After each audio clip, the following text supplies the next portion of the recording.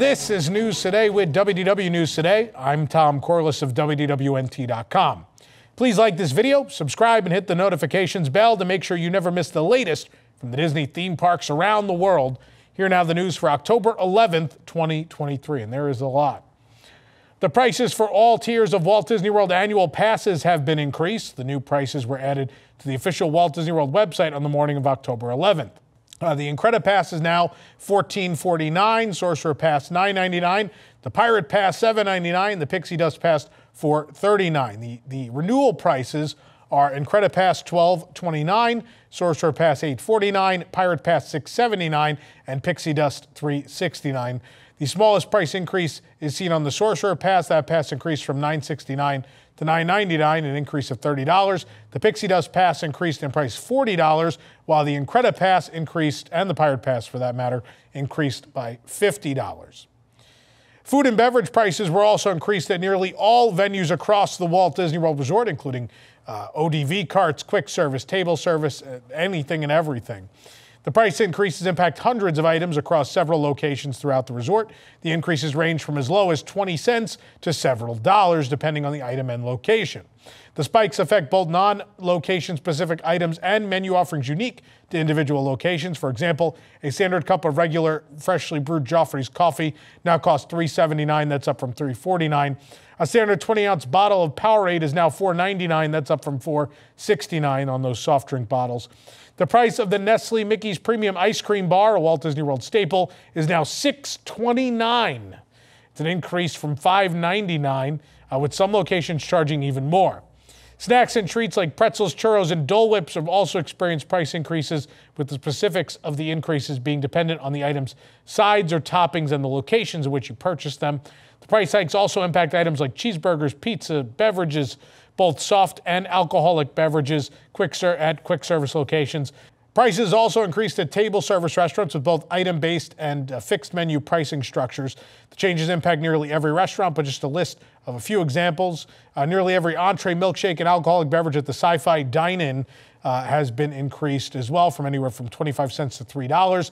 Hopping over to Mama Melrose's in the same park, nearly all items on the lunch and dinner menus have increased by $1 to $2.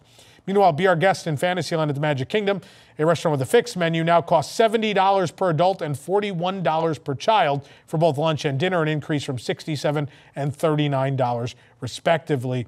Also, over at Ohana at Disney's Polynesian Village Resort, breakfast was $45 for adults, $29 for kids. It's now $49 per adult, $30 per child. Dinner is now priced at $62 per adults and $40 per child, increasing from $59 and $38. Individual dining location menus have been updated on the Walt Disney World website. You can check out all your favorites there. Um, but chances are everything and anything on those menus is probably up in price as of October 11th.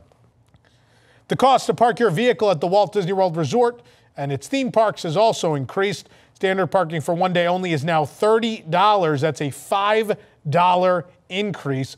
Meanwhile, preferred parking ranges from $45 to $55 depending on your vehicle type.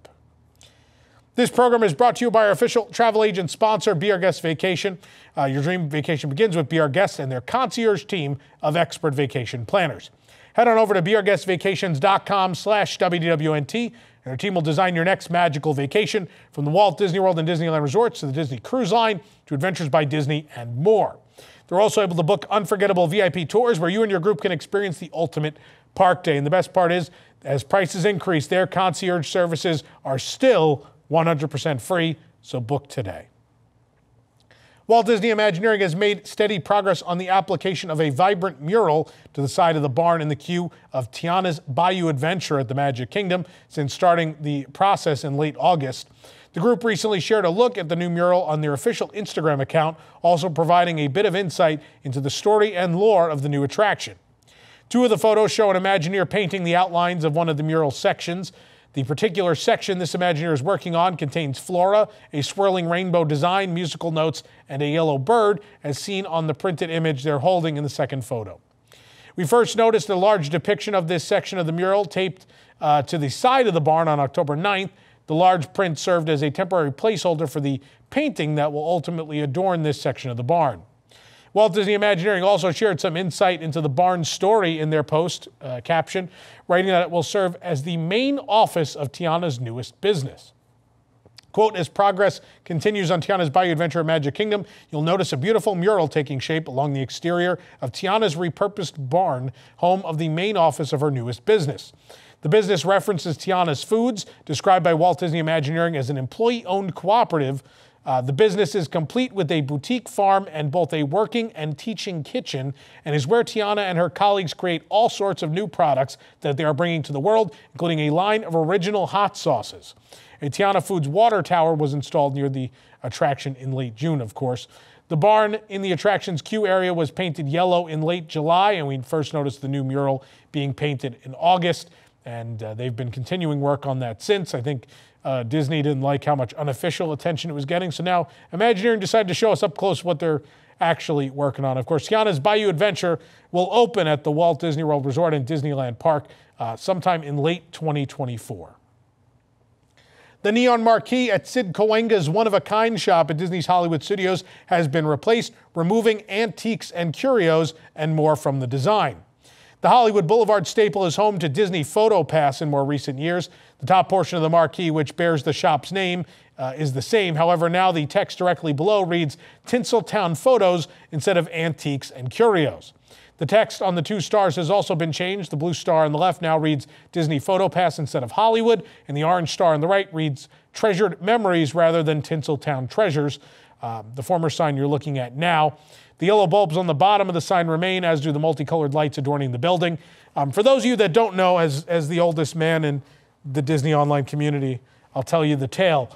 Um, Sid Cahuenga's one of a kind shop actually is original to Hollywood Studios. It opened with the park on May 1st of uh, 1989, and it used to be an actual store, and the store sold actual uh, memorabilia from the movies and television and such. So you could buy autographs, you could buy movie props, uh, you could buy all sorts of signed checks by Walt Disney, uh, which one is still on the wall. They kept some stuff as propping, um, even when it became a photo pass uh, sort of aid location. I think it was also a, essentially a Magic Band aid location at one point too, um, when that was newer. Um, and, and, interestingly enough, when the park opened, there was a walk around character of Sid Cahuenga um, as part of the Streetmosphere. Uh, you know, remember.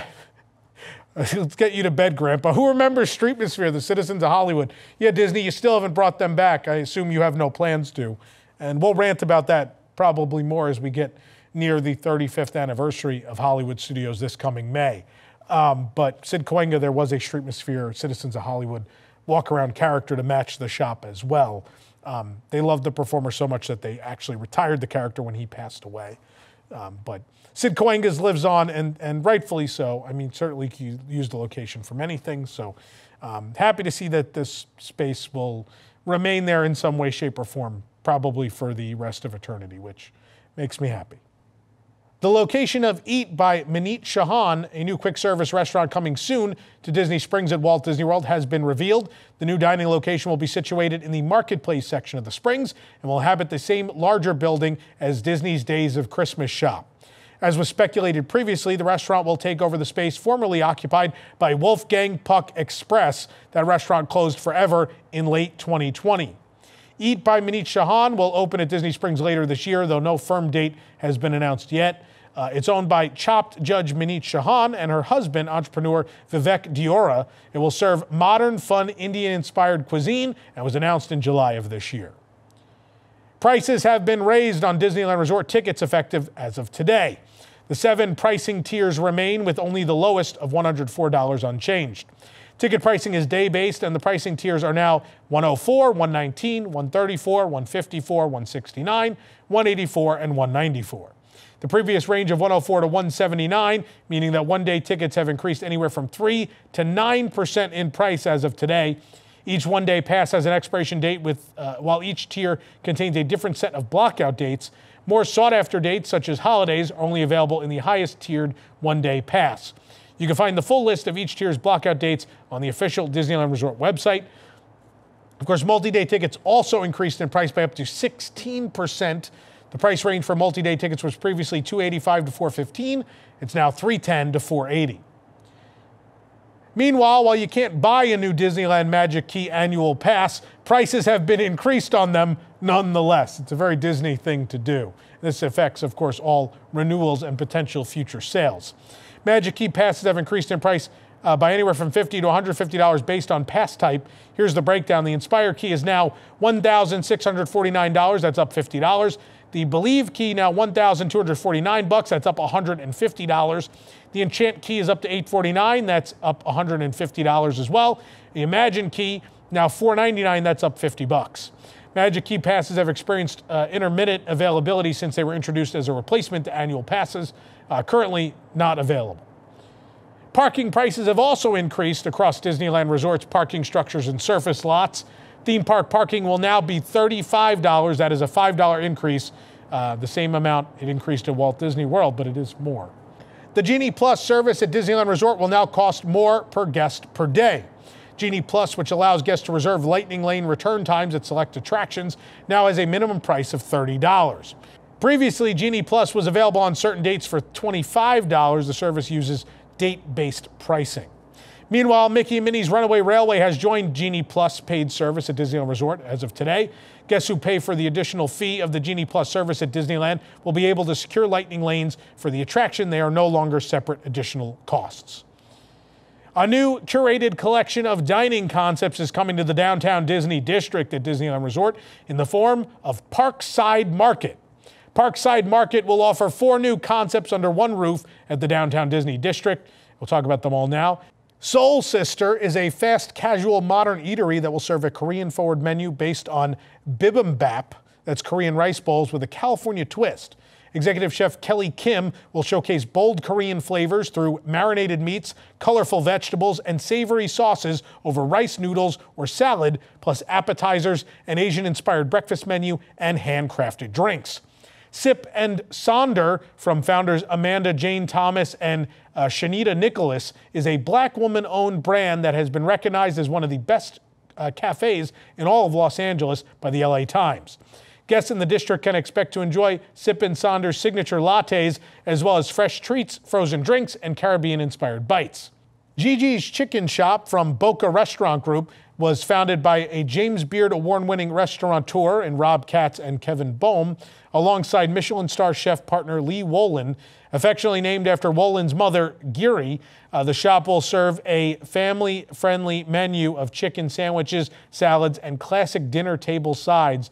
The first brick and mortar Gigi's Chicken Shop opened earlier this year in Chicago, and this new location in the downtown Disney district will be its first on the West Coast. In addition to these options, a second story bar will be an alfresco spot offering great views to sip signature craft cocktails and mocktails from mixologists who infuse, muddle, stir, shake, and swizzle the freshest mixes using local ingredients and artful garnishes. Refreshing selections will include frozen lemonades, frosés, espresso martinis, shareable cocktails, and spirit free elixirs. Later this year, Downtown Disney will open a new stage and lawn for special events, activities, musical entertainment, and more on the west end of the district. In this brand new area, you'll be able to see a soaring new sculptural tower designed by Nicholas Smith.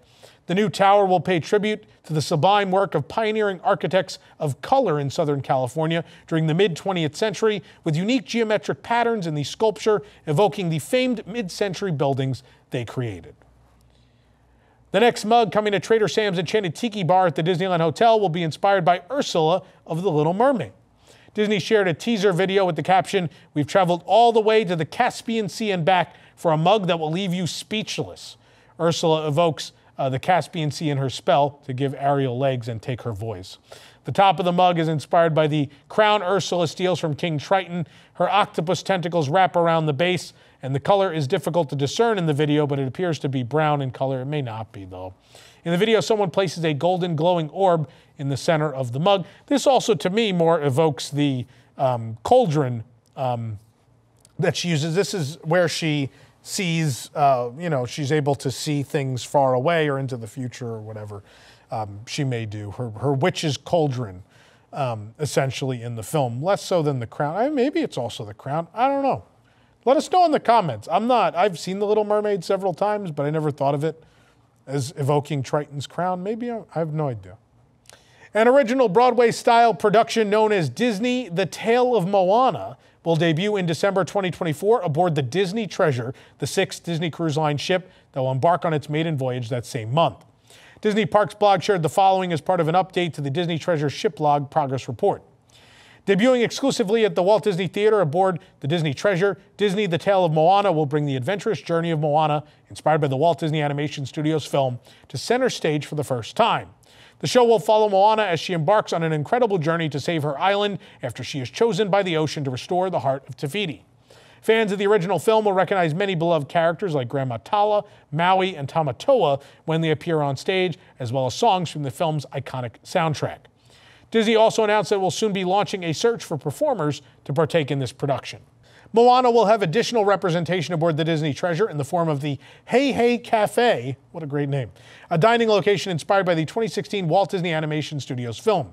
Disney announced that Moana inspired eatery in early September alongside the Jungle Cruise inspired Skipper Society Lounge and the 20,000 Leagues Under the Sea themed Periscope Pub, and as well the Disney's Mulan inspired Jack Cricket Cafe. Disney Cruise Line has updated its placeholder reservation policy. The alteration was announced on the official Disney travel agent's website on October 11th. Uh, the following was shared in the announcement. Since placeholder reservations were first introduced several years ago, Disney Cruise Line has asked guests to make a payment for any additional deposit amount at the time of selecting an actual sale date. Effective immediately, guests and travel agents selecting a sale date for a placeholder reservation will now have the standard three day hold period to pay any additional deposit amounts owed. In the full, if the full deposit amount is not met by the due date, the reservation will be canceled, and any onboard offer benefits received with, when the placeholder reservation was booked will be forfeited. Please note that if a reservation with an onboard offer applied is canceled due to non payment, the reservation cannot be reinstated. Placeholder reservations are non specific arrangements for a future Disney Cruise Line voyage that guests can book while already embarked on a Disney cruise. The reservations are open ended and require guests to make a partial deposit when they ultimately choose a specific cruise and sail date, they pay a discounted price for that entire trip, 10% off prevailing rates. Those booking a placeholder reservation also receive discounted deposit prices on sailings lasting seven nights or longer. Guests were previously asked to pay any remaining deposit uh, upon choosing a sail date. As of October 11th, guests now will have a three day hold window to pay the rest of the deposit after they select that date. The reservation again will be canceled uh, after that point if payment is not made. New queue and seating area enhancements will soon be added to several locations across Disneyland Paris to further shield guests from the potentially uncomfortable or hazardous weather. Recently released concept art showcases planned roof structures soon coming to Casey's Corner at Disneyland Park and the Twilight Zone Tower of Terror and its Rose Garden at Walt Disney Studios Park. Though no concept art was shared, queue enhancements are also planned for the outdoor portion of Peter Pan's flight at Disneyland Paris. The first piece of art depicts a roof that's planned to be built atop Casey's Corner's exterior seating area. The structure aesthetically matches the Victorian style architecture of Main Street, as well Casey's Corner, the quick service restaurant, which, believe it or not, first existed in Paris and then uh, became a part of the Magic Kingdom at Walt Disney World. Um, Currently, where the seating area is, there's just umbrellas, very similar to, to, Walt Disney World. There's just a bunch of umbrellas. This will be a much welcome addition. And also, love that it looks thematic. This is uh, beautiful. I love, um, so far, what we've seen. Disneyland Paris is a very special park. It is by far the most beautiful castle park. And I know I have been very fearful, as have many of the fans who um, call that park home, um, that as Disney takes over and as Imagineering comes in and works on that park, that maybe, you know, sometimes we see things at Walt Disney World or even Disneyland that maybe are of a lesser quality, um, these additions that are made to certain spaces or changes that are made um, a little lesser quality than what came before. So the fear has been in Paris is, will Disney match the quality of the park that already existed with any changes they make? That's been a big fear. And I will say thus far, while, you know, the Luca dining room at, at Bella Notte is not my favorite decision, and while turning um, one of the restaurants into a Coco restaurant, not my favorite decision either, everything they've added um, matches in quality level and uh, as far as being thematic with the rest of the park. So seeing this concept art, it looks like we're getting very much the same on Main Street. This is great. It's already the best Main Street in the world, and um, this is just going to make it even better. It's really cool. Also in the art, we can see there are plans for a new character meet and greet gazebo just across the way. Currently, that's an uncovered meet and greet space. As, as we speak, Stitch is meeting there. Um, but this is another, again, another great thing to see them um, you know, investing in the future of this park and making things better. A roof structure is also planned for the Rose Garden outside of the Twilight Zone Tower of Terror attraction at the Walt Disney Studios Park. Though portions of the attraction exterior queue are currently covered and a section of its queue is inside the attraction building itself, the Rose Garden is currently covered. Um, they'll just be doing some improvements on this space as well. This version of the Tower Terror, a copy of the one that used to exist at California Adventure. A roof is also planned for the Peter Pan's flight queue. No concept art was shown, but there is, if you've ever been to Disneyland Paris, there is a pretty large portion of the queue that is outside to the right side of the building that is completely uncovered. This is not surprising. This is, um, I think, a very welcome addition to the park. Sticking with Disneyland Paris, they will be adding Frozen and Winnie the Pooh scenes to Le Pays de. Uh, that's their version of the Storybook Land canal boats in Fantasyland in 2024. Le Pays de uh, opened at Disneyland Paris in 1994. And in honor of the 30th anniversary of the attraction, again, Frozen and Winnie the Pooh will be added along with some uh, much needed refurbishment projects um, during that time. Frozen will come to life in miniature form as one of the familiar fairy tale uh, locales in Fantasyland. Imagineers are closely working with Disneyland Paris Central Shops to create a detailed model of the majestic North Mountain covered in a thick white blanket of snow and Elsa's iconic ice palace at its peak. Guests will be able to spot Anna, Elsa, Olaf, Kristoff, and Sven on their way to Wandering Oaken's trading post and sauna. Um, it seems this was not said, but it does look like Frozen will replace uh, Peter and the Wolf. Um, that's one of the scenes currently in the attraction. A Storybook Land will soon offer a new home to Winnie the Pooh and friends as well, located not far from the cottage of the Seven Dwarfs. It appears to be replacing the Hansel and Gretel scene. The Disney Post uh, specifically calls the attraction a celebration of beloved Walt Disney Animation Studio stories and fables. Um, so there is one scene in here that does not depict a scene from a Disney animated feature. It is the final scene of the attraction, and it is my personal favorite. That would be Return to Oz, which is an 80s live action Disney film. The reason, um, you know, may remember we did an interview with Imagineer Jim Shull a while ago for Disneyland Paris. And Jim talked about working on this attraction and why they put Oz at the end, and that's because it is the only American fairy tale. And so that was the reason it was put at the end. But again, very specifically saying the attraction is a celebration of Disney feature animation. Return to Oz is not Disney feature animation. And so um, this is one of those weird, quirky, cool things that I've always loved about Paris is this, this return to Oz scene. The other really cool thing about it is the music that plays in that scene is from the Main Street Electrical Parade when it had a special finale to promote Return to Oz. So, for a number of reasons, this is just one of those kooky, amazing things as a fan um, that we love. And so, I, I, I mean, we knew it was probably inevitable. I, I understand Peter and the Wolf and, and Hansel and Gretel are not two of the most well known and beloved Disney tales of all time. I mean, in general, they're two of the most well known and beloved fairy tales of all time, but they're not necessarily IP that Disney continues to promote currently. So I do understand them bringing Frozen and Winnie the Pooh. And Winnie the Pooh is refreshing, right? Because that's an older IP. And, you know, I, I think uh, when I heard there were going to be updates, I half expected, well, yeah, Frozen, but probably also, I'm sure they're going to do Encanto, and I'm sure they're going to do this. And, sure, and it's, it's refreshing that, yeah, one is Frozen, but one is also Winnie the Pooh. But um, man, if, if Return to Oz survives this, I will be very grateful, but I do not expect it. If you don't know what I'm talking about, we have a video of Le Pays des Contes de Fées right here on the channel, Storybook Land in Paris. You can just write that too. I have both titles, so you don't have to worry about your French spelling. Um, please go watch it. It's if you're not going to make it out there before they make changes, I think it's worth a watch just to see that that wonderful, weird Oz scene. I'm gonna miss it. And Disneyland Paris, if you're just gonna throw it in the garbage, I will. I'll make a special trip. Like I'll come pick it up. I'll buy it its own plane seat. I'll sit next to it and we'll, and we'll come home. And I'll, I'll put it back here. We can put it on the backdrop, right, Jake? You okay with Return to Oz? Jake fell asleep. It's fine. we should end the show, shall we? I'm going on a tangent. For the absolute latest on these stories and all that didn't make it into today's show, be sure to check WDWNT.com and follow us on all your favorite social media platforms.